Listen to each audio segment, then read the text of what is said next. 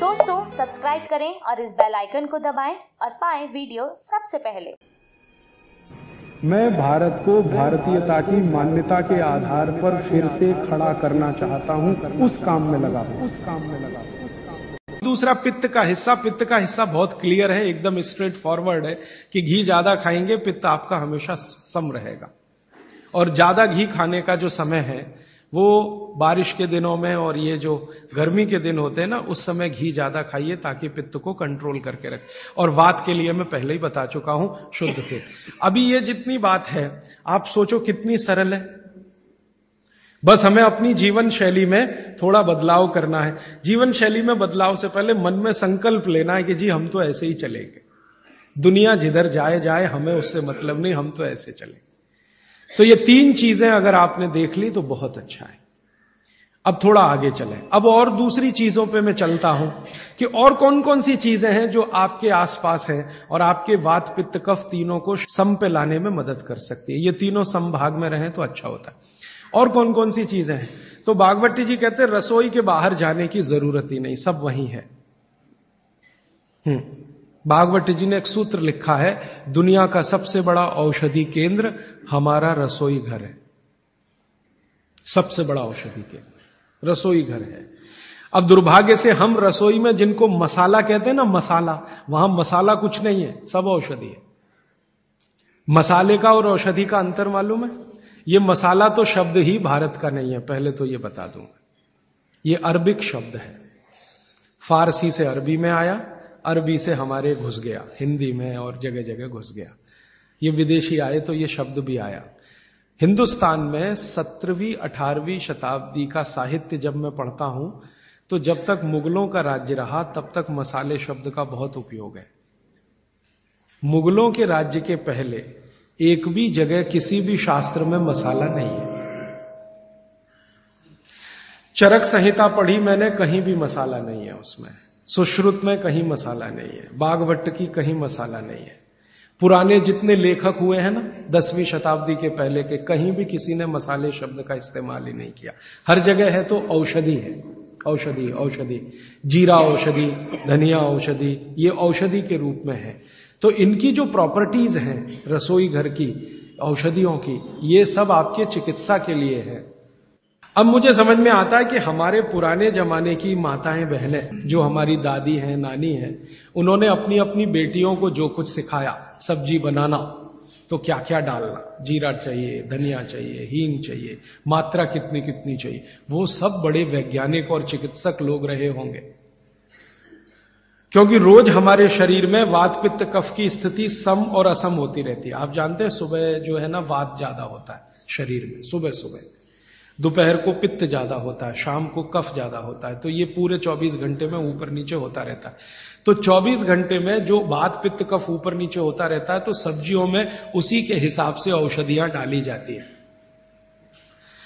जैसे दोपहर की सब्ज़ी बने, दोपहर की तो मेरी दादी को मैंने देखा था कि दोपहर की सब्ज़ी बनाएगी तो अजवाइन ज़रूर डालेगी उसमें। और वही सब्ज़ी रात को बनाती थी तो अजवाइन नहीं डालती थी।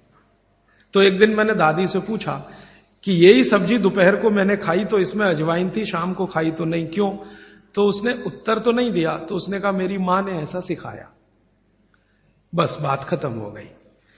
अब उस समय मैं भी मान लिया कि ठीक है, उसकी माँ ने सिखाया। अब जब मैंने काम शुरू किया ये चिकित्सा पर, तब मेरे समझ में आया कि अजवाइन जो है, पित्तनाशक है।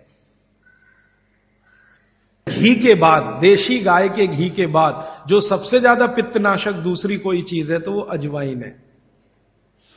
और दोपहर को पित्त भड़कता है, आप जानते हैं। और वो स्वाभाविक है, क्योंकि खाना खाने के लिए पित्त भड़कना ही चाहिए। तो उस समय अजवाइन डाली जाती है सब्ज़ी में, क्योंकि दोपहर को ही शरीर को अजवाइन की ज़रूरत होती है, पित्त को सम पे लाने के लिए। तो भारत में ज़्यादातर माताएँ बहनें ये बात जानती हैं कि दोपहर की सब्ज़ी में अजवाइन चाहिए। दोपहर का दही है ना, दही का मट्ठा, उसमें भी अजवाइन का बघार लगता है। दोपहर की जितनी भी चीज़ें हैं, ज़्यादातर अजवाइन ग्रस्त होती हैं या अजवाइन से बनती हैं, क्योंकि पित्त को सम पे रखना है। तो आप सोचो, जो लोग ये कर रहे हैं, वो बिना कहे कितना बड़ा काम कर रहे हैं। हमने उसका वैल्यूएशन नहीं किया, ये हमारी मूर्खता। हमारे यहाँ तो एक बहुत बड़ा दुष्कर्म इस देश में हुआ है। अंग्रेज़ों के हम गुलाम हो गए तो सब कुछ हम भूल गए अपनी चीज़ें। अंग्रेज़ों ने जो सिखाया वही हमें याद है। तो हम जीडीपी का कैलकुलेशन करते हैं अंग्रेज़ों के फॉर्मूले से। जीडीपी निकलता है इस देश का ग्रॉस डोमेस्टिक प्रोडक्ट तो मैंने बहुत बार इस देश के अर्थशास्त्रियों से पूछा कि जीडीपी में आप विचित्र विचित्र कैलकुलेशन करते हैं। जैसे भारत की पुलिस है, उस पर जो खर्चा हो रहा है, वो जीडीपी का हिस्सा है। अगर चोरियाँ बढ़ी, डकैतियाँ बढ़ी तो पुलिस का खर्च बढ़ेगा तो जीडीपी बढ़ेगा। और प्रधानमंत्री छाती ठोक के कहेगा, मेरे जमाने में जीडीपी 10 परसेंट से ऊपर बढ़ गया। सो वॉट पुलिस का खर्च बढ़ गया। माने चोरियाँ बढ़ गई, डकैतियाँ बढ़ गई, अत्याचार बढ़ गए, अनाचार बढ़ गए तो जीडीपी बढ़ गया तो क्या बड़ी बात है? तो हमारे जो जीडीपी के कैलकुलेशन है, बड़े विचित्र हैं। इसमें चोरी हो, डकैती हो, लूट, माने लूट मारी हो तो जीडीपी बढ़ेगा। लेकिन माताएँ, बहनें घर में जो करती रहती हैं, वो जीडीपी में है ही नहीं। कैलकुलेशन ही नहीं है उसका। भारत सरकार कोई कैलकुलेशन नहीं करती कि किसी माँ ने एक किलो पापड़ बना दिए। तो जीडीपी बढ़ा के नहीं? तो कहते हैं, जी, मालूम नहीं, बढ़ा के नहीं बढ़ा? क्योंकि कैलकुलेशन नहीं है। किसी माँ ने दाल की बड़ी बना दी, पाँच किलो दाल की तो जीडीपी बढ़ा के नहीं बढ़ा आपका मन क्या कहता है? बुद्धि क्या कहती है? बढ़ा के नहीं बढ़ा। किसी ने बड़ी बना दी, किसी ने पापड़ बना दिए, किसी ने कुछ बना दिया, किसी ने गोंद के लड्डू बना दिए, किसी ने मावे का कुछ बना दिया तो जीडीपी तो बढ़ ही रहा है। लेकिन हम कैलकुलेट नहीं कर रहे हैं उसको, क्योंकि अंग्रेज़ों के यहाँ महिलाओं का किया हुआ काम महत्व का नहीं माना जाता। अंग्रेज़ों के यहाँ। ये जो अंग्रेज़ जात है ना दुनिया में ये महिलाओं के किए हुए काम को काम ही नहीं मानती। आपको मालूम है 2000 साल यूरोप में महिलाओं को पुरुषों से हमेशा कम वेतन मिलता रहा, और आज भी है ये, कई देशों में। वो मानते ही नहीं कि इनका कोई काम काम है। क्यों? वो महिलाओं में आत्मा नहीं मानते। हाँ, यूरोप का सबसे बड़ा दार्शनिक है प्लेटो, वो कहता है कि स्त्रियों में आत्मा ही नहीं होती। आत्मा सिर्फ़ पुरुषों में होती है। तो स्त्री जो करे वो बेकार है, पुरुष जो करे वो ही अच्छा है। तो उनके यहाँ से ये कैलकुलेशन हमारे यहाँ आ गया कि स्त्री कुछ भी करे तो काम ही का नहीं। तो अंग्रेज़ों का 200-250 साल जो राज चल गया, उसमें हम सब के दिमाग खत्म हो गए, सोचना, विचारना बंद हो गया। तो हमने भी वही मान लिया। मैं अब इसको बदलना चाहता हूँ और मैं ये समझना चाहता हूँ और समझाना चाहता हूँ कि स्त्रियाँ जो कर रही हैं, वो किसी डॉक्टर से कम नहीं है।